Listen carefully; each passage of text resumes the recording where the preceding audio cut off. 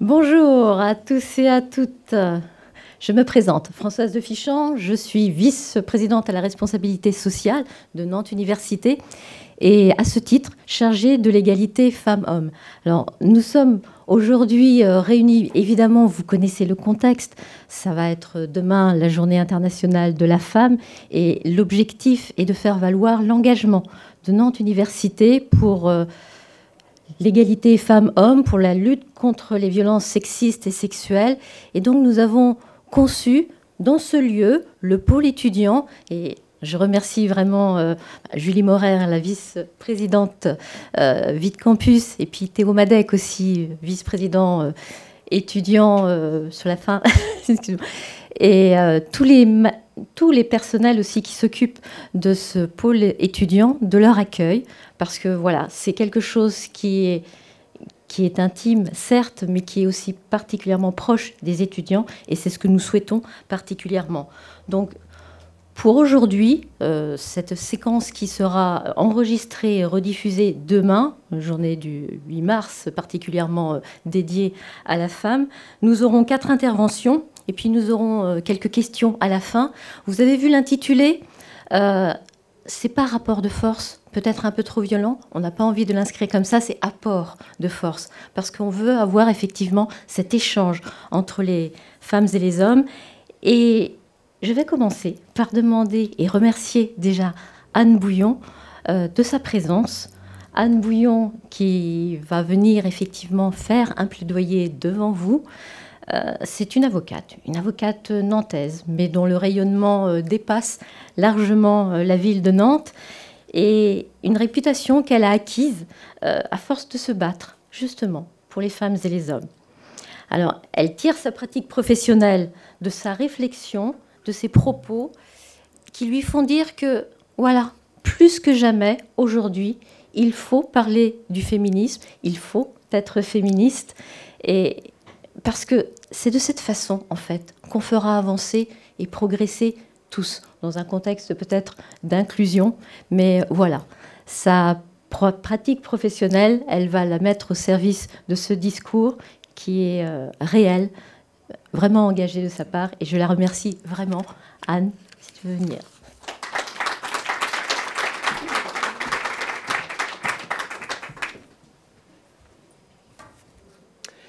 Bonjour à toutes et à tous. Je suis très heureuse euh, d'être euh, là parmi vous. Je ne vous vois pas bien, mais, je vous devine. Et, euh, merci beaucoup de votre accueil. Merci Françoise Le Fichant de ces gentils mots. Et, merci de cette invitation. Je voudrais remercier très rapidement Christelle Bervas, ma, ma chère amie, qui est aussi à l'origine de cet événement et qui n'a nul autre pareil pour mettre en en musique les idées et les personnes pour créer de beaux événements. Donc merci à elle. Euh, je dois vous dire que lorsqu'elle me proposait euh, d'intervenir devant vous euh, aujourd'hui, je, l'interrogeais sur la question de savoir sur quoi elle voulait que je parle et, elle me répondait lapidairement bah, C'est pour 8 mars, tu sauras bien faire. C'est pas faux, mais c'est vague. Lorsque je réfléchissais aux propos que j'avais envie de tenir devant vous, me revenait rapidement en mémoire cette autre invitation formidable lancée par cette grande autrice nigériane qui s'appelle Shimamanda Ngozi Adichie, qui, lors d'un TEDx que vous retrouverez sans difficulté, lançait un Nous devrions tous et toutes être féministes, un peu à la façon d'un manifeste. Alors voilà, c'est de ça dont j'ai envie de vous parler euh, aujourd'hui. J'ai envie de vous parler de mon entrée euh, en féminisme, de ce que euh, ça a définitivement modifié de mon rapport au monde, et pourquoi j'ai la profonde et intime conviction que nous avons tous et toutes, femmes, hommes, personnes non binaires, à gagner à l'être. Féministe, c'est un mot qui, peut-être, continue d'effrayer, continue de faire peur. Peut-être que ce mot renvoie toujours à l'idée de femmes hystériques, nécessairement poilues, brûlant des soutiens-gorge ou euh, se lançant dans des rites de sorcellerie à vocation castratrice. La notion est loin d'être consensuelle et, à mon grand étonnement, fait toujours débat. Les féministes seraient euh, frustrées, hargneuses et euh, réduiraient les hommes en charpie, les livrant à la vindicte populaire à coups de tweets rageurs. Je caricature à peine, en réalité, euh, les propos que certains et certaines peuvent toujours tenir contenant mal leur détestation de celles et ceux qui viennent questionner un ordre patriarcal parfaitement établi et qui garantit à coup sûr la perpétuation de la domination masculine. Bien qu'ils ne le sachent pas, moi je crois que même eux devraient être féminisme. Non, le, féminisme, c'est rien de cela. Hein. Le féminisme, euh, c'est bien autre chose, et le discrédit dont il fait l'objet est nécessairement proportionnel à l'inquiétude qu'il génère. Je suis là pour déconstruire le mythe. On peut être féministe et apaisé, on peut être féministe et drôle, on peut être féministe et aimer tellement les hommes que l'on n'attend rien d'autre d'eux qu'ils soient au rendez-vous aussi sur ce combat-là. Vous le savez, hein, le féminisme, c'est ni une guerre des sexes, ni un mouvement pour l'éradication des hommes, ni un mouvement de négation de la différence entre les genres. C'est, et c'est comme ça que je le vis, un engagement euh, protéiforme, joyeux, divers, pour l'émancipation des femmes et pour l'égalité entre les femmes et les hommes. Le féminisme peut être euh, universaliste, intersectionnel, écologique, matérialiste, radical, libéral, pro-sexe. Et comme le dit très justement euh, la, philosophe et historienne Geneviève Fraisse, nous sommes assez nombreux et nombreuses pour ne pas être d'accord. En revanche, ce que nous avons euh, tous et toutes en commun, c'est que nous nous élevons contre l'idée que le simple hasard d'un déterminisme physique, par ce simple hasard-là, une moitié de l'humanité serait dominée par l'autre. Dans cette mesure-là, vous comprendrez aisément qu'il n'est euh, jamais possible d'être trop féministe. Il me semble qu'il serait euh, aussi absurde de dire que l'on est trop féministe que l'on serait trop antiraciste. Quel serait alors le seuil acceptable de discrimination entre les êtres humains? Cette question, qui euh, évidemment n'a aucun sens dans le champ de la lutte pour l'égalité euh, entre les humains d'origine ou de religion différente, conserve pourtant une vraie pertinence dans le champ de l'égalité femmes-hommes. Combien de fois N'avons-nous pas entendu euh, féministes d'accord, ouais, mais pas trop extrémistes quand même? Pour ma part, je ne suis pas née féministe. Je le suis devenue. Je ne me souviens pas avoir reçu une éducation au féminisme. Ma génération est née avec la pilule, avec le droit de vote, avec l'avortement, et l'essentiel me paraissait sans doute acquis je me souviens, à l'âge qui est le vôtre, d'avoir été euh, mobilisée, très mobilisée par la lutte contre le racisme, euh, par euh, cette plongée au cœur des années SIDA, mobilisée par la lutte contre l'invisibilisation des minorités sexuelles à l'arrière de, chars de Gay Pride. Mais l'égalité femmes-hommes, dans mon milieu social relativement préservé, ne m'apparaissait vraiment pas comme un champ de préoccupation majeur. J'avais tort, hein, évidemment. Je dois vous dire que euh, euh, c'est l'avocate que je suis devenue il y a plus de 20 ans déjà qui a fait la féministe que je suis. Et ce, pour deux raisons qui se cumulent. La première raison, elle tient à la singularité de ma condition d'exercice liée à mon appartenance au sexe féminin. Pour le dire plus simplement, euh, j'ai euh, à de maintes reprises fait euh, l'expérience du, sexisme ordinaire, de la misogynie la plus crasse, voire parfois et à certaines occasions de la violence franche et assumée. Et tout cela ne tenant qu'au fait que je suis avocate.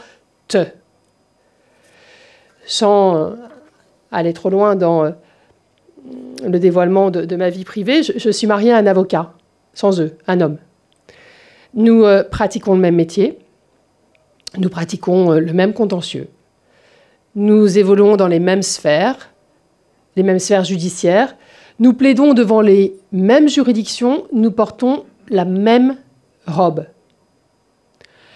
Eh bien, euh, mon mari, euh, Franck, puisque c'est son prénom, lui, à l'inverse de moi, n'a jamais dû euh, frôler les couloirs du palais de justice pour éviter un vieux bâtonnier libidineux dont les doigts crochus avaient une furieuse tendance à se perdre dans les chevelures des jeunes avocates croisées à la sortie des salles d'audience.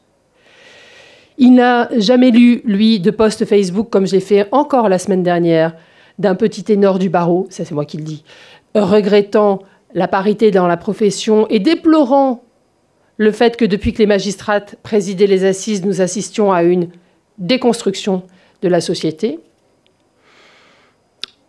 Aucun magistrat ne l'a jamais interrompu au milieu d'une plaidoirie pour lui demander de reboutonner sa robe qui euh, était trop entr'ouverte. Aucun confrère, croyez-le, ne l'a jamais interrogé sur son cycle menstruel comme seule explication possible à son intempérance dans un dossier. Et je pense qu'il n'a jamais vécu une seule audience devant une cour d'assises en ce qui me concerne, c'était à Reims, où seul homme au milieu de femmes, présidente, procureure et avocate, celle-ci serait, serait toute offensée de ce qu'il parle trop fort, lui intimant l'ordre de garder son calme et de tempérer ses indignations. Une espèce de maître, calmez-vous, s'il vous plaît, calmez-vous.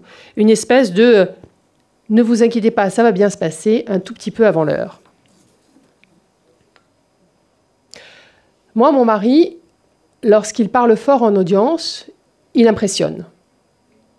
Moi, lorsque je parle fort en audience, j'énerve.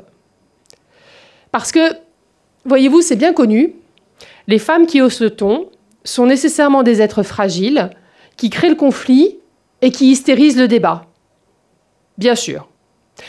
Je pense d'ailleurs souvent que euh, Poutine Loukachenko et tous leurs copains qui nous gouvernent déclenchent des guerres et massacrent des populations ont un sacré côté féminin.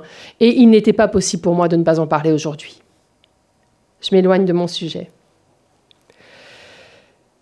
J'ai vécu tout cela, et pire encore, et euh, le pire, ce sera euh, pour une prochaine fois. Simplement, euh, vous dire que, jeune avocate, j'avais tellement tellement intériorisé l'idée de ce que je devais, en toutes circonstances, conserver une attitude et un mezzo voce attendu de moi, qu'il ne m'était pas venu à l'idée d'analyser ces déconvenus en termes de système. Même si j'en sortais contrariée, parfois meurtrie, je me contentais de m'adapter et de subir, comme nous le faisons toutes. Je crois que le véritable déclic s'est produit avec le constat empirique et sans cesse renouvelé de ce que euh, ma salle d'attente ne désemplissait pas et ne désemplit toujours pas de femmes qui subissent des violences, qui déposent, alors qu'elles ne sont pas nécessairement venues pour ça, qui déposent devant moi une parole empreinte de souffrance et de violence subies. Et vous dire qu'il s'agit euh, de toutes sortes de femmes et de toutes sortes de violences des femmes venant de tous milieux sociaux. Et je garde en mémoire cette femme issue de la haute bourgeoisie me confier du bout des lèvres et détournant le regard qu'elle ne supportait plus de subir des viols hebdomadaires sous couvert d'accomplissement du devoir conjugal. J'aurais bien aimé vous parler du devoir conjugal, autre escroquerie juridique, mais euh, je n'ai pas le temps ici. Les femmes de tout âge, de toute extraction, de toute religion, de toute origine, avec ce point commun qu'elles ont euh, toutes subi des violences physiques, sexuelles, verbales, morales, économiques, administratives. Et avec ceci que euh, la violence relève d'un système d'oppression protéiforme, dont la violence physique, celle qui euh, est visible à l'œil nu, ne représente que la face émergée. Alors permettez-moi deux remarques sur ce point. La première remarque, c'est que euh, la capacité d'adaptation des femmes est telle. Notre intériorisation des schémas de domination est à ce point intégrée et les attentes collectives de notre capacité à supporter tellement hautes que les violences subies ne nous paraissent souvent pas pour ce qu'elles sont. Vous parlez de Catherine, c'est nécessairement un prénom d'emprunt, que j'ai reçu euh, récemment pour un divorce. Catherine est assistante sociale. Elle euh, me dit dans le cours de notre entretien qu'elle a euh, souvent peur de rentrer chez elle, qu'elle aimerait bien avoir son propre compte bancaire, que euh, son mari la surveille euh, presque tous les jours pour savoir où elle est et avec qui, et qu'il râle si elle s'habille de telle ou telle manière, mais que, rassurez-vous, maître, moi je ne subis pas de violence, me dit-elle avant de s'effondrer en pleurs.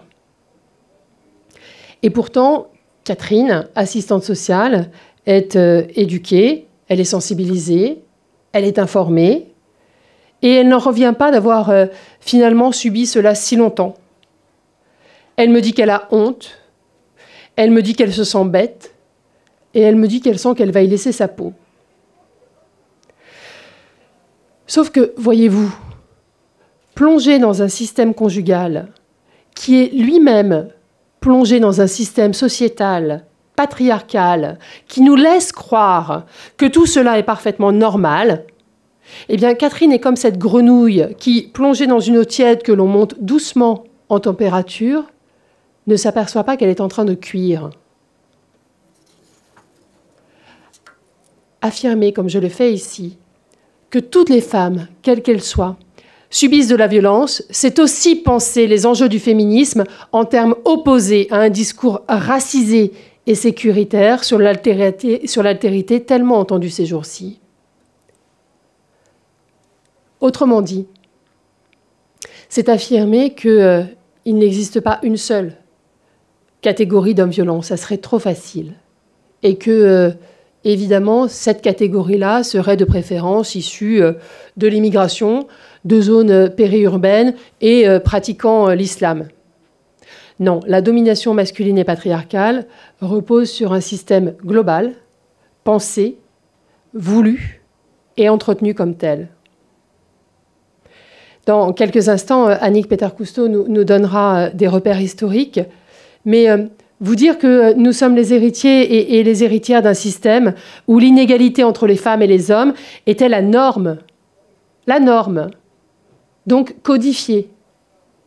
Et je ne résiste jamais euh, au plaisir de rappeler que euh, Napoléon, Napoléon Ier, Napoléon Bonaparte, ce, ce, grand petit homme, a inscrit au cœur de son code civil le fameux article 213 qui voulait que l'homme doive sécurité à son épouse qui, en contrepartie, lui devait obéissance. Quelle arnaque.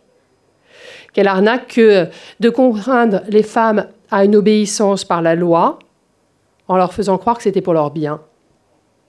Étant rappelé que le même code napoléonien interdisait également aux femmes l'accès au lycée et aux universités, que les femmes n'avaient pas le droit de gérer leurs biens, qu'elles n'avaient évidemment aucun droit politique, une interdiction de percevoir leur salaire, leur mari s'en chargeant pour elles, et interdiction de voyager à l'étranger sans autorisation, le tout pour leurs biens, cela va sans dire. Il faudra attendre 1938 pour que la femme mariée récupère une personnalité juridique. Puis s'en suivront, vous le savez, hein, euh, une série de conquêtes pour gagner, en droit, pour gagner en et en liberté, dont les acquis, contrairement à, ce que pensait la jeune fille que j'étais, sont euh, aujourd'hui toujours fragiles et questionnés. Eh bien, le féminisme, c'est ça. Le féminisme, c'est une réponse à ce système politique qu'est le patriarcat, qui tire sa propre subsistance et sa régénération dans la violence qui s'exerce sur les femmes. La seconde remarque que je voudrais vous faire, que je voudrais faire, c'est que euh, il me semble que nous avons toutes, et je m'adresse aux femmes, toutes fait l'expérience de la violence sexiste et patriarcale. L'avocate que je suis, ma fille de 15 ans, Catherine, ma cliente, et, toutes les femmes que je défends, nous avons euh, parfois, toutes individuellement, fait l'expérience de la violence des fois sans le savoir ni le comprendre, euh, une main aux fesses dans le métro, des, remarques sexistes, des blagues salaces auxquelles il nous faudrait nécessairement rigoler, parce que sinon on n'est pas drôle, euh, de la discrimination à l'embauche, on en parlait, au salaire, des violences gynécologiques, des violences institutionnelles, jusqu'aux violences verbales, physiques et sexuelles. Je crois que si chacune d'entre vous, si chacune d'entre nous prend un instant pour revisiter son parcours, alors nous ne pourrons constater que, constater que notre chemin en est jalonné. 90 000 femmes. 90 000 femmes en France ont subi l'année dernière un viol ou une tentative de viol. Ça fait 246 viols par jour, juste en France. Ramener à l'échelle de l'humanité, Virginie Despentes, dans euh, son manifeste que vous devez lire si ce n'est pas déjà fait, qui s'appelle King Kong Theory, dit que le viol est, pour les femmes, l'expérience la plus collective qui soit. Gisèle Halimi, Gisèle Halimi avant elle, disait que le viol est la norme elle disait précisément que si c'est la fin qui construit le voleur, c'est la vie normale qui construit le violeur. Et vous le savez, si nous n'en avons pas subi nous-mêmes, alors nous le redoutons. Nous le redoutons pour nous, nous le redoutons pour nos amis, nous le redoutons pour nos filles. Nos comportements sociaux sont paramétrés à l'aune du risque de viol. Et des jeunes filles qu'on entendra euh, tout à l'heure en viennent à créer des pailles pour signaler les boissons frelatées par des prédateurs aux aguets. Et ce qui ne lasse pas de m'étonner, toujours à l'âge que j'ai, c'est que là où nous devrions nous lever, nous indigner collectivement de cela, eh bien au contraire, notre environnement social normalise et parfois euh, justifie la violence sexuelle. C'est ce que nous appelons, vous le savez, la, culture du viol. Longueur de la jupe, euh, choix du lieu de sortie, de l'itinéraire urbain, expérience sexuelle euh, passée. Tout peut être opposé à la victime d'un viol pour tenter de partager une co-responsabilité. Et moi, je me souviens d'un policier qui tentait, de décourager euh, une de mes clientes lorsqu'elle est venue déposer plainte en, lui disant, parce que cette jeune femme avait une sexualité euh, libre et, assumée, et il lui disait, mais, mais euh, vous avez eu tellement d'aventures que si vous déposez plainte, personne ne vous croira lorsque vous direz que vous ne vouliez pas. Alors transposez l'espace d'un instant cela au vol de téléphone portable.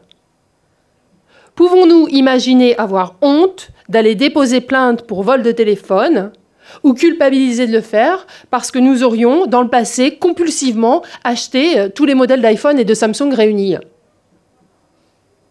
Ça n'a aucun sens. Et pour autant, c'est ce qu'on continue de vivre des femmes qui euh, sont réticentes à pousser la porte des commissariats et des palais de justice. La justice. La justice, comme nombre de nos institutions euh, patriarcales, par essence, par définition, évolue. Les femmes pouvaient, euh, et je mets ça au passé, subir une double violence, hein, celle perpétrée par leur conjoint et puis euh, celle assénée par l'institution, refus de prise de plainte, questions humiliantes, délais interminables, classements sans suite hallucinants. Et je me souviens de cette femme victime d'un viol par son mari. Lorsqu'il avait été entendu, le mari avait reconnu les faits. Sauf que ma cliente avait immédiatement après le viol eu un rapport sexuel avec euh, son amant. Elle l'expliquait par le fait de vouloir euh, annuler ce qu'elle venait de subir, canceller ce qu'elle venait de, subir. Eh bien, une procureure de la République a classé le dossier sans suite, nonobstant les aveux du mari, considérant que quand on est victime de viol, on ne va pas coucher avec son amant après. On a fait appel de la décision et, le mari a été euh, condamné. Adèle Haenel, vous vous en souvenez, après avoir témoigné de ce qu'elle avait subi, avait euh, lancé un, La justice nous ignore et, nous ignorons la justice. J'avais à l'époque écrit une tribune, je ne sais pas si elle l'a lu, mais en tout cas, je lui disais qu'elle se trompait. Elle se trompait parce que les procès se font dans les prétoires et que si la justice est sourde, alors on lui crie bien fort dans les oreilles. Ma conviction, c'est que toutes les femmes devraient être féministes parce que sans cela, nous en serions encore à demander l'autorisation à nos maris pour pouvoir travailler, pour pouvoir ouvrir un compte en banque, pour pouvoir voter, pour pouvoir avorter, et que le féminisme déconstruit cette chimère qui veut nous faire croire que nous serions naturellement inférieurs, donc potentiellement dominés. Nous devrions toutes être féministes. Et si le féminisme est d'abord un combat euh, d'émancipation des femmes, un combat pour l'égalité entre les sexes, moi je crois qu'il est profondément émancipateur pour les hommes. Nommons les choses telles qu'elles sont. Le patriarcat, c'est un système violent au sein duquel des hommes, potentiellement secondés par des femmes, et les travaux de, Germaine Tillon le montrent bien, produisent de la violence. Sauf que cela participe d'un système pensé et construit et n'est en rien une fatalité. J'ai vu, moi, la capacité que les hommes peuvent avoir de se distancier de ce système. J'ai vu la capacité qu'ils peuvent avoir de le réfuter, de résister, de poser comme acte fondateur à leur masculinité qu'ils refusent de cautionner, de participer, d'œuvrer à la perpétuation d'un système patriarcal qui, s'il n'est plus en France fondé sur le droit, l'est toujours sur la violence. Moi, je crois les hommes, et particulièrement ceux de votre génération, absolument capables de changer les choses et de prendre vos distances avec cette domination mortifère. Je crois que c'est un formidable défi, que c'est une véritable opportunité pour les hommes, que c'est une marque de confiance. En vrai, c'est une déclaration d'amour. Je dis pas que c'est facile. Hein. Je dis pas que c'est facile. Et lorsque j'entends des hommes dire que euh, eux aussi, le patriarcat les met sous pression, que eux aussi, ils ont peur de ne pas y arriver, de ne pas être à la hauteur, de ne pas être performants, y compris sur le plan sexuel, qu'ils se sentent contraints à une virilité qui ne leur ressemble pas parce que les garçons, ça doit toujours pas pleurer, eh bien, j'ai envie de leur dire que, je les entends. Quand j'entends des hommes qui, euh, face au mouvement féministe, euh, au poste hashtag MeToo, se disent perdus, menacés, ne comprenant plus les codes qui auraient changé, percevant des injonctions euh, paradoxales de femmes qui exigeraient une égalité à géométrie variable, je ne nie pas cette angoisse et cette perte de repères. C'est vrai, et n'en déplaise à ceux qui regrettent la galanterie à la française, la grivoiserie euh, gauloise ou la drague à la machine à café, on ne peut plus tout faire, ni tout dire si cela est attentatoire à la liberté et à l'intégrité des femmes. Et peut-être qu'enfin, la fête du slip est-elle terminée. Mais ne nous y trompons pas, ce sont des peurs et des angoisses de privilégiés. Les femmes ou les personnes non binaires ont, elles, peur pour l'intégrité de leur corps et parfois pour leur vie. Les hommes ont peur que les femmes se moquent d'eux, les femmes ont peur que les hommes les tuent. Je vous la relis. Les hommes ont peur que les femmes se moquent d'eux, les femmes ont peur que les hommes les tuent, disait Margaret Atwood, la célèbre autrice de La Servante écarlate. Donc, je pense que tous les hommes devraient être féministes parce qu'ils y gagnent en liberté, parce qu'au-delà des apparences, il doit être épuisant d'assumer sans faille une position de mal dominant, et puis et surtout, et puis et surtout, parce que en réfutant une position de domination qu'ils ne doivent à rien d'autre qu'à un hasard biologique et à un chromosome Y, et en plaçant les femmes à leur stricte égalité, c'est leur dignité à eux que les hommes préservent ou rétablissent.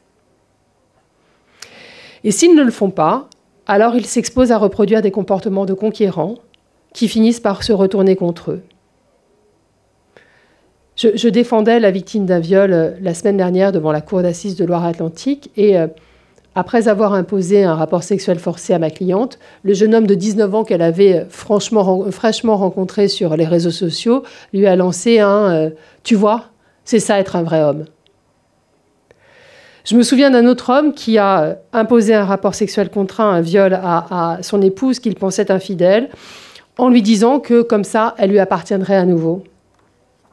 Alors attention, hein, tous les hommes ne sont pas des violeurs, bien entendu. Mais comment se fait-il que nombre d'hommes n'aient toujours pas compris qu'ils ne détiennent aucun titre de propriété sur leur corps de leur compagne?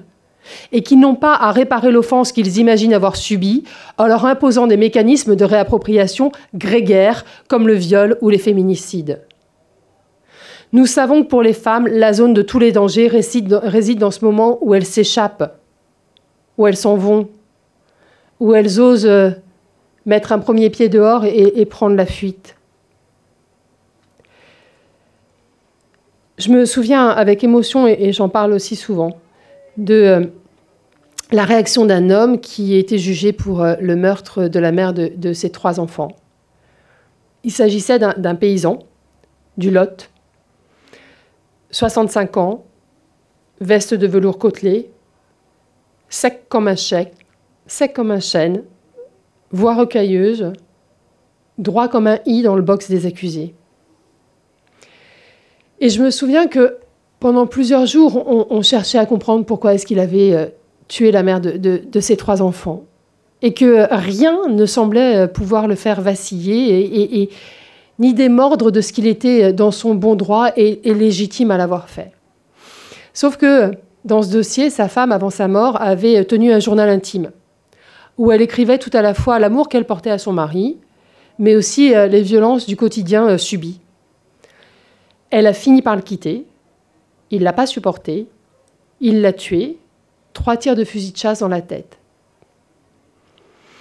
Et cet homme, voyez-vous, ce vieux paysan du Lot, n'avait jamais entendu les pages de ce journal intime. Lorsqu'elles lui ont été lues devant la cour d'assises, c'est comme si sa femme venait dans la, cour pour euh, lui parler d'outre-tombe. Et je me rappelle qu'aux dernières minutes du procès, cet homme euh, s'est effondré, mais littéralement effondré. Il a dit que face à ce départ, qu'il avait vécu comme un abandon, comme une trahison, comme une déchéance, il n'avait pas su faire autrement que de la tuer pour la retenir. Persuadé qu'en la tuant, elle lui appartiendrait pour toujours. Et puis il disait aussi que, petit garçon, personne ne lui avait appris autre chose qu'une posture de domination, de contrôle de ses affects et d'incitation à la conquête. Il a dit, et je le cite, je n'ai pas su faire autrement. Et croyez-le, ces mots continuent de résonner à mes oreilles. Alors moi, je crois qu'il peut en être autrement. Je crois que ce qui a été appris, codifié, intégré, inculqué, peut être désappris, je crois que nous pouvons refuser que notre déterminisme biologique conditionne nos places et nos rapports de force, que nous avons le choix d'apprendre à faire autrement, collectivement, pour joindre nos forces en vue d'une égalité enfin réelle. C'est la raison de ma présence ici devant vous, c'est la conviction que j'ai, moi, vous, nous, tous, femmes, hommes, personnes non binaires et nos enfants, nous devrions tous être féministes. Je vous remercie.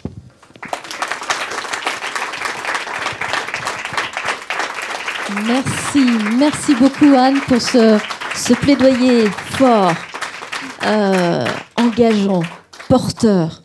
Vraiment, merci et bravo. Je vais demander à Annick Peter-Custo de se mettre en chair. Donc Annick Peter-Custo est professeure d'histoire, directrice de l'UFR euh, histoire, histoire de l'art et archéologie. Et elle a aussi euh, des mots à dire quant à l'histoire de la femme. L'émancipation de la femme n'a pas été simple, n'a pas été linéaire. Il y a eu des flux et des reflux. Merci Annie. Merci beaucoup. Euh, Françoise, pour cette invitation, en quelques minutes, à vous donner un peu les réflexions que l'histoire peut nous apporter. Donc euh, c'est difficile de passer après Anne et après son vibrant plaidoyer, d'une part parce que moi aussi j'aurais des choses à dire euh, en termes d'expérience personnelle, car le milieu universitaire n'est pas exempt des mêmes travers que ceux qu'Anne a évoqués pour le milieu euh, judiciaire. bon, je ne le ferai pas, mais bon, voilà, c'est pour conforter cette idée qu'il n'y a pas de milieu, de, cadre, de, de contexte social ou sociopolitique qui soit exempt euh, de cette euh, réalité de la domination euh, masculine encore de nos jours.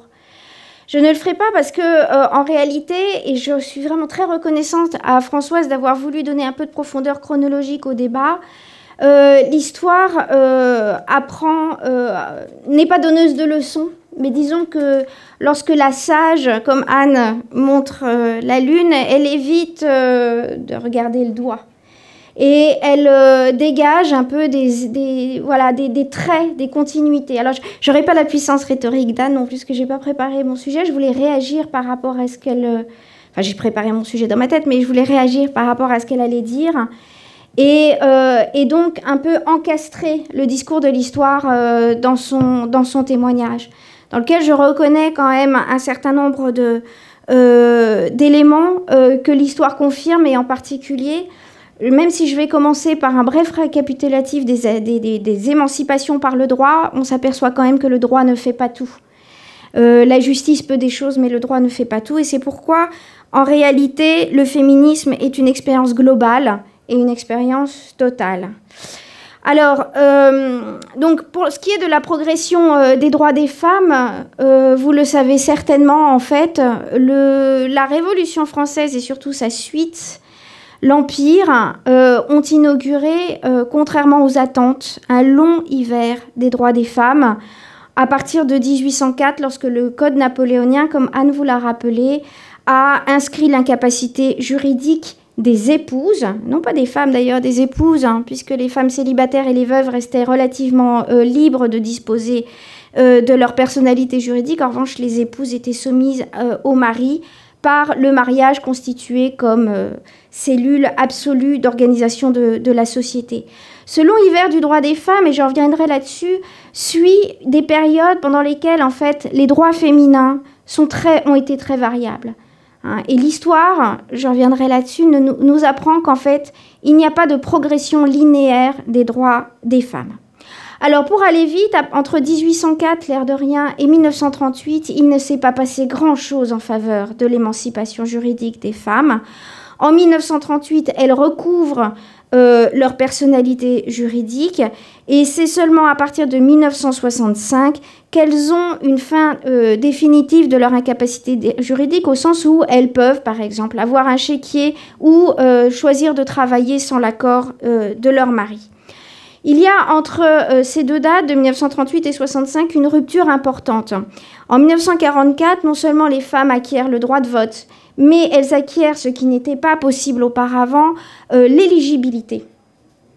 Et euh, à partir de ce moment-là, il va y avoir en effet des femmes députées, très très rares, mais aussi des femmes ministres de plein exercice. Euh, le Front populaire, dans le gouvernement du Front populaire, il y avait une secrétaire d'État qui était une femme, c'était Irène Joliot-Curie, la fille de Marie Curie, mais il avait, qui n'avait pas le droit de vote par ailleurs. Elle avait le droit d'être secrétaire d'État, mais elle n'avait pas le droit de voter. Euh, toujours est-il que euh, à partir de 1947, on a la première femme ministre. La deuxième femme ministre, c'est 1974. Hein. c'est Simone Veil. Donc on peut dire que les progrès sont longs. Et donc, ça veut dire aussi que l'accélération, en fait, à partir euh, des années 60-70, euh, de, de, comment dire, l'accélération juridique, hein, de l'émancipation des femmes, elle est liée, certes, euh, aux mouvements sociétaux contemporains, hein, de la révolution sexuelle, etc., mais elle est liée aussi au fait que désormais, les femmes ont des représentantes et peuvent compter sur elles-mêmes euh, moyennant quoi elles sont toujours très minoritaires dans les systèmes de gouvernement et les systèmes législatifs. Donc pour acquérir quelque chose, elles doivent absolument le gagner auprès d'hommes. Hein. Et euh, l'Assemblée nationale qui a voté euh, le droit à l'avortement en 1975, c'est une Assemblée nationale très majoritairement d'hommes de droite. Donc il a fallu les gagner. Alors, euh, à partir de là, tout de même, à partir du moment où à la fois il y a une congruence en fait entre les mouvements sociétaux et la, participation politique des femmes euh, en France, on a donc cette accélération qui est en fait qui a des phases très successives et c'est ça qui est extrêmement euh, important de comprendre, c'est-à-dire qu'il y a des priorités qui émergent. La première, c'est l'émancipation des femmes par rapport au droit à, disposer de leur propre corps, qui se fait en plusieurs étapes, notamment et d'abord et avant tout par la maîtrise de la fécondité. En 1967, la loi Neuwirth leur donne accès à la contraception. En 1974, la contraception est remboursée par la sécurité sociale. En 1975, c'est le droit à l'avortement. Donc là encore, hein, ce sont des gouvernements d'hommes de droite qui votent ces lois. Les femmes ont, malgré tout, et c'est heureux, besoin des hommes pour progresser. Hein. parce que ce sont des choses qui se font de front, hommes et femmes. Et petit aparté, je dois dire que euh, en regardant cette assemblée dans laquelle il y a deux hommes venus écouter euh, ce discours, on peut se dire que gagner les hommes à la cause des femmes, eh bien, il y a encore du chemin. Mais c'est possible en leur démontrant, comme a voulu le faire Anne et comme je voudrais le faire aussi, que c'est aussi pour eux qu'ils doivent gagner la cause des femmes. Hein, c'est indissociable.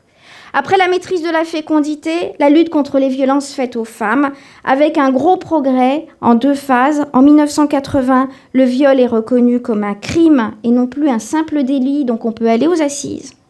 Et en 1984, la reconnaissance du viol entre époux et là, le, nombre d'exemples d'Anne, tout de suite, sur euh, le viol des époux, enfin, le, viol euh, dans le devoir conjugal, eh bien, est tout à fait euh, symptomatique de la chose. La troisième étape, ce sont les violences spécifiques contre les femmes. Et là, le bilan est bien tardif. Je ne le rappellerai pas dans sa totalité, mais ce sont seulement aux années 2000, en fait, et même 2010, qu'on commence à s'occuper aux violences spécifiquement faites aux femmes. Alors que conclure de ce petit panorama, très vif? Petit 1, que la loi ne fait pas tout, puisque si on en est là encore à en discuter, alors même que l'arsenal législatif euh, s'est tellement déployé euh, depuis euh, des décennies autour des, des, problématiques spécifiques liées aux violences faites aux femmes et aussi aux droits des femmes et à leur émancipation et à leur égalité juridique, ça montre bien que le, droit ne fait pas tout.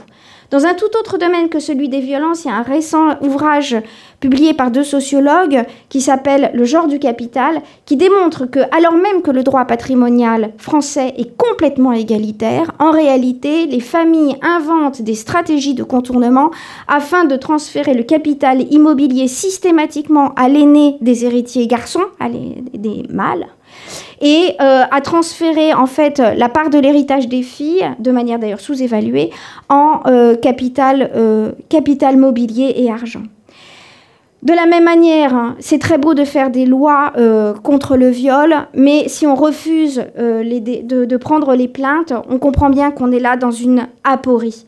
Qui me fait penser, moi, au fait qu'au Moyen Âge, les femmes de la haute société ne portaient jamais plainte pour viol, n'allait pas, euh, alors même que le viol était puni au Moyen Âge, euh, pour des histoires de code d'honneur, et que seules les femmes qui n'avaient rien à perdre, c'est-à-dire les prostituées, allaient euh, en justice à la fin du XIVe siècle. On a des minutes de procès extraordinairement précis et intéressants à Bologne sur des prostituées qui gagnent des procès en viol. Mais combien de temps a-t-il fallu attendre à partir de la fin du XIVe siècle pour qu'on reconnaisse le viol des prostituées par la suite? Vous voyez, donc voilà, le, les acquis, voilà, la, comment dire, la progression, les droits des femmes n'ont jamais été linéaires. Les femmes du Moyen Âge avaient plus de droits que les femmes au XVIIIe siècle, et les femmes du XVIIIe siècle de la haute société avaient plus de droits que toutes les femmes du XIXe siècle. Les progrès ne sont pas linéaires, euh, ça fait des montagnes russes, ça veut bien dire que les acquis ne sont jamais acquis. Je terminerai par quelque chose, une réflexion un peu pratiquement de l'ordre de l'anthropologique. L'histoire nous montre qu'il y a quand même une constante, c'est le contrôle masculin sur le corps des femmes qui est obsessionnel. À l'heure actuelle, c'est une question politique. Ça a été une question euh, ça a toujours été une question euh, d'une focalisation masculine, ce contrôle sur le corps des femmes, qui a été justifié par des théories médicales, par la science, euh, donc les théories médicales des humeurs, la science euh, d'Aristote, euh, la nature, le droit romain, la théologie, tout, tout, tout, tout allait dans le même sens. Les femmes sont faibles, il faut les protéger, et la théologie chrétienne a rajouté là-dessus, en plus ce sont des tentatrices, donc il faut nous protéger d'elles. On peut voir euh, et donc, il faut les cantonner à un seul rôle de leur corps, celui de la maternité, que l'on contrôle, que l'on et une sexualité évidemment sous contrôle pour hommes et femmes, mais une maternité dont on contrôle tout le processus. On voit là quelque chose d'anthropologique qui laisse presque penser qu'il y a une peur panique des hommes à l'égard des femmes et de leur liberté à disposer de leur corps et de leur indépendance. Et pratiquement, on s'en sortira quand les hommes comprendront qu'ils n'ont pas à avoir peur des femmes. Au contraire, tout un tas de mouvements à l'intérieur du féminisme montrent bien les liens qu'il y a entre le patriarcat et, d'un côté, la fascination pour la violence, de l'autre côté, la euh, domination sur la nature et l'exploitation euh, de la nature. Le fait même de dire que les femmes qui refusent la maternité sont contre nature montre bien qu'on a un usage de la nature qui, euh, qui est celui de la domination. Donc domination par la violence, fascination par la violence. Je ne vous fais pas un tableau combien ça rejoint l'actualité. Domination, exploitation de la nature. Je ne vous fais pas euh, l'offense de vous montrer combien la question est actuelle. Et domination sur les femmes. Il y a là quelque chose de global et il, il servira aux hommes autant qu'aux femmes d'en sortir globalement. Hommes, n'ayez pas peur des femmes. Elles sont, comme le disait Anne Sylvestre, des sorcières comme les autres. mais ça veut dire bien quels sont euh, vos meilleurs alliés pour construire quelque chose qui fasse sortir de cette fascination pour la violence et la domination qui s'éduque et qui s'éduquera, j'en suis persuadée. Je vous remercie.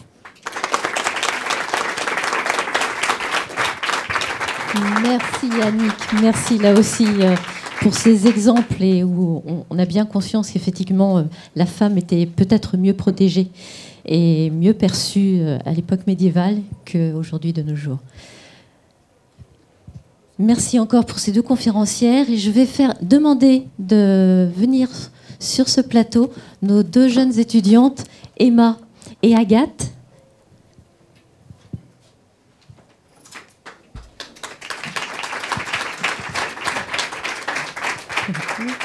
Bon, asseyez-vous et merci encore d'être là. J'insiste effectivement pour, euh, pour les remercier parce que c'était fondamentalement important qu'elles soient là. Euh, on va parler évidemment de, de leur projet, euh, mais on avait envie aussi qu'elles soient là parce que nous sommes au pôle étudiant, nous sommes à nous adresser à des étudiants et on sait bien aussi que la parole passe forcément mieux quand c'est un étudiant ou une étudiante qui parle aux autres étudiants et montrer aussi que l'on veut faire que nos étudiants peuvent avoir des projets particulièrement porteurs, particulièrement protecteurs, et que Nantes Université les accompagne complètement.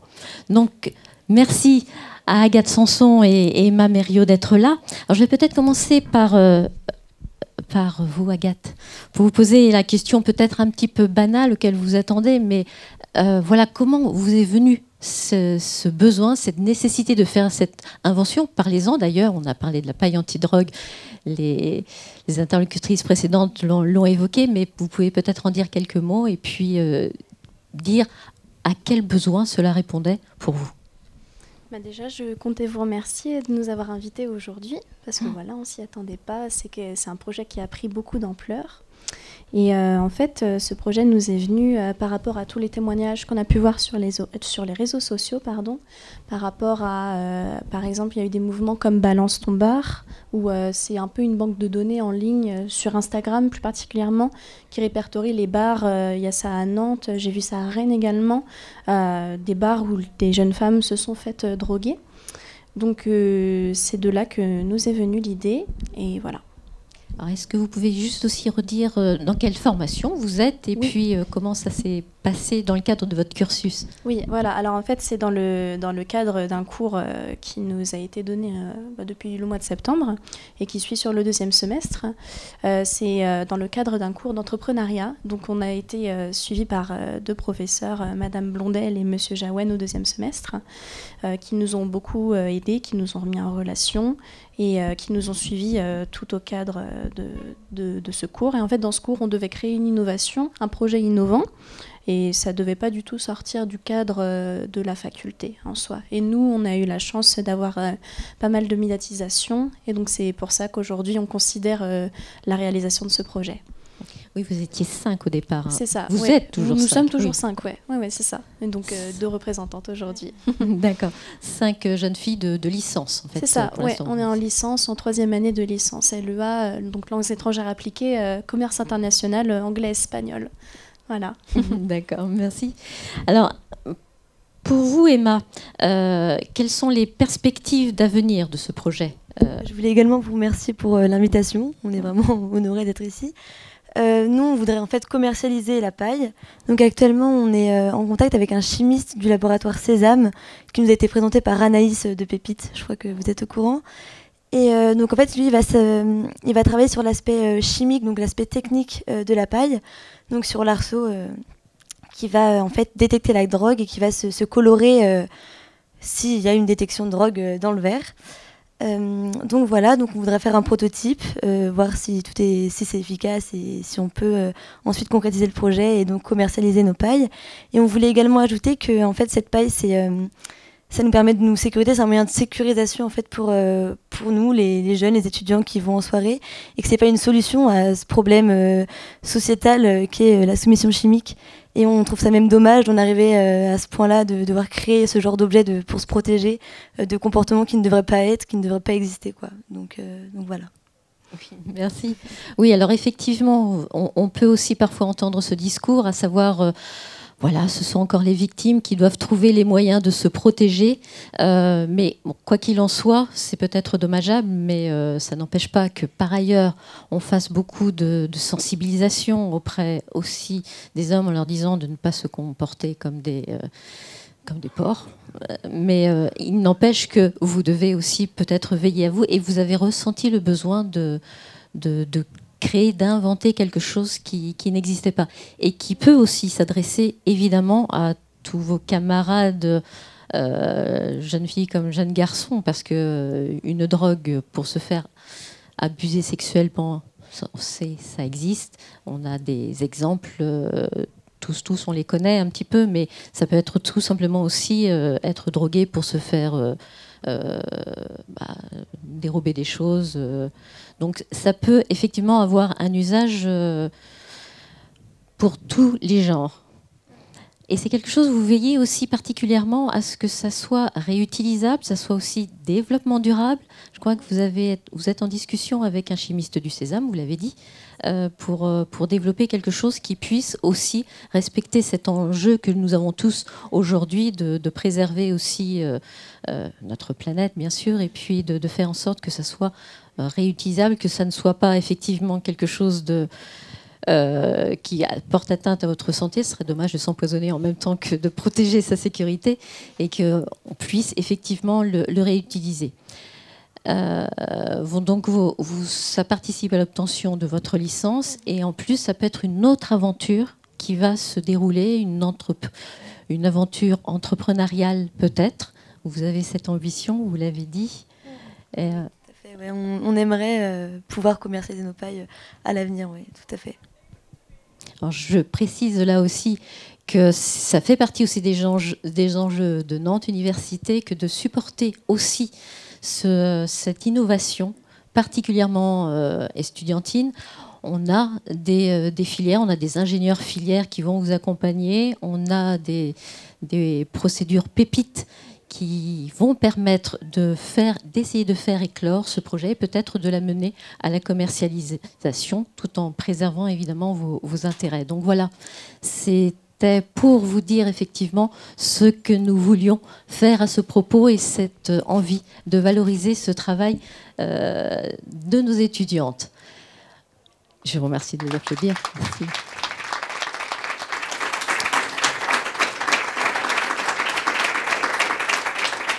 Et je voudrais, juste avant de passer la, parole à Pascal Kunz, euh, rappeler ce que l'université entend faire pour euh, l'égalité femmes-hommes, pour la lutte contre euh, les violences sexistes et sexuelles.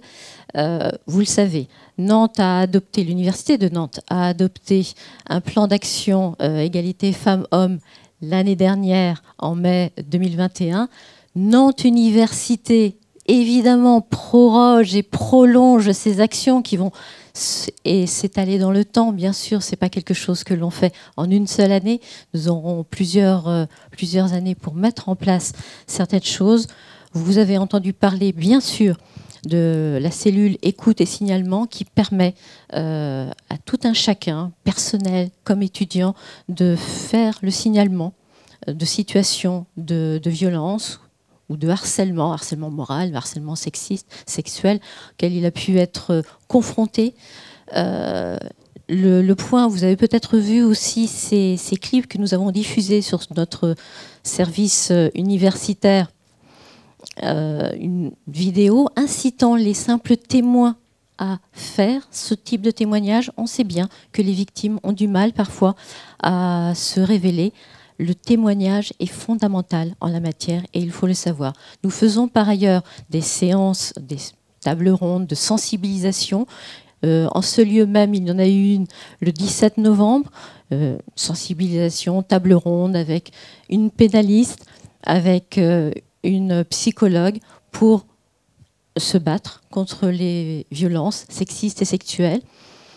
Il y en aura une autre en avril sur le pôle santé amphithéâtre Bias, vraisemblablement, destiné davantage aux étudiants qui sont dans le domaine de la santé, avec un accent particulier qui sera mis sur les pratiques professionnelles, dont vous commencez à entendre qu'il y a des choses parfois qui sont quand même surprenantes et des violences qui sont faites aux femmes dans ce domaine-là aussi. Donc nous continuons à avancer et nous continuons aussi à mettre en avant la recherche parce que une université, ce sont des étudiants, mais ce sont aussi des chercheurs.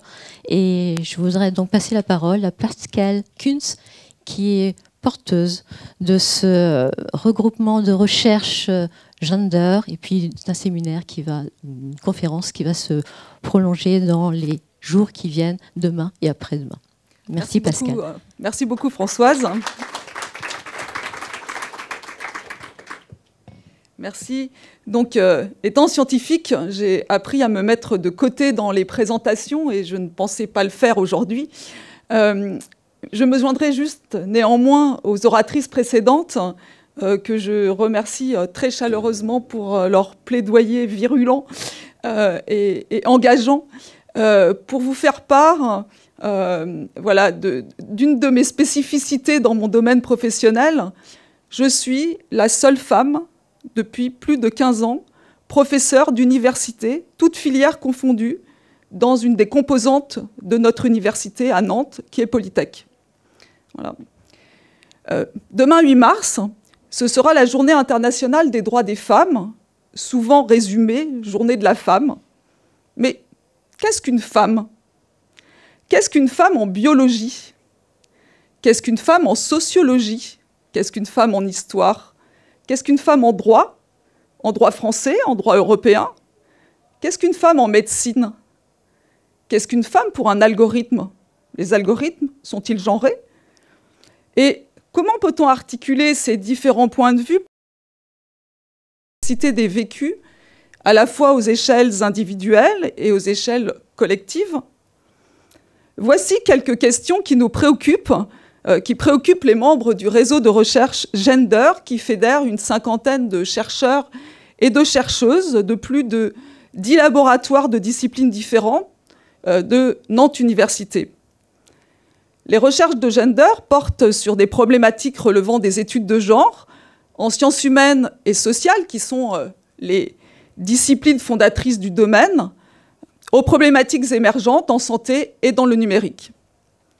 Alors, pour celles et ceux qui sont intéressés, une présentation insolite et joyeuse, j'ai entendu ce terme dans le plaidoyer d'Anne, euh, de gender sera faite demain entre midi et deux dans différents euh, lieux du campus d'Urtertre. Vous y êtes évidemment les bienvenus. Et euh, un colloque s'ouvrira à 17h au campus demain également, au campus de la Lombarderie, sur le thème Femmes, genre et savoir, une recherche engagée Point d'interrogation. Ce colloque vise à interroger sur euh, l'intrication des enjeux de genre et de construction et circulation des savoirs aux époques modernes et contemporaines. Il nous concerne. Vous êtes donc évidemment les bienvenus à ces différents événements. Je vous remercie. Merci Pascal, merci.